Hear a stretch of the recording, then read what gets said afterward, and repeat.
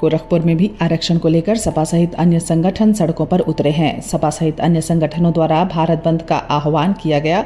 इसी कड़ी में महानगर के अंबेडकर चौक पर सपा सहित अन्य एससी, एसटी एवं ओबीसी संगठनों ने भारत बंद का ऐलान करते हुए व्यापारियों से दुकानें बंद रखने की अपील की है।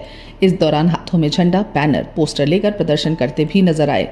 इस संबंध में सपा जिलाध्यक्ष ब्रिजेश गौतम का कहना है कि देश की वर्तमान सरकार सुप्रीम कोर्ट का सहारा लेकर जिस तरह एससी, एसटी, ओबीसी एवं अन्य आरक्षण वर्ग के लोगों के साथ खिलवाड़ कर रही है। आरक्षण के क्रीमी लेयर में छेड़छाड़ का घृणित कार्य किया जा रहा है। यह हम बर्दाश्त नहीं करेंगे। इसको लेकर हम सड़कों पर उतरेंगे और सरकार के खिलाफ जमकर विरोध प्रदर्शन करेंगे।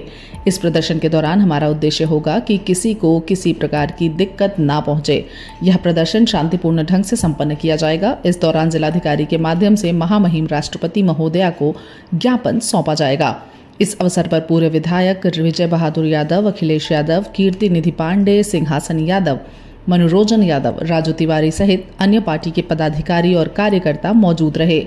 इस संबंध में मीडिया कर्मियों से बात करते हुए सपा के जिलाध्यक्ष ब्रजेश गौतम और एडीएम सिटी अंजनी कुमार सिंह ने बताया।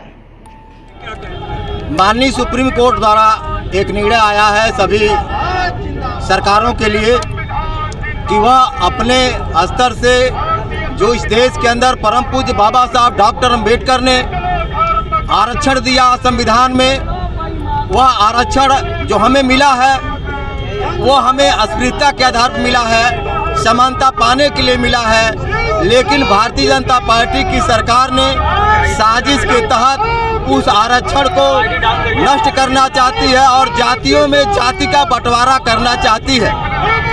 इसके खिलाफ इस देश के तमाम दलित और पिछड़े अनुसूचित सूचित जनजाति के लोगों ने भारत बंद का आह्वान किया है।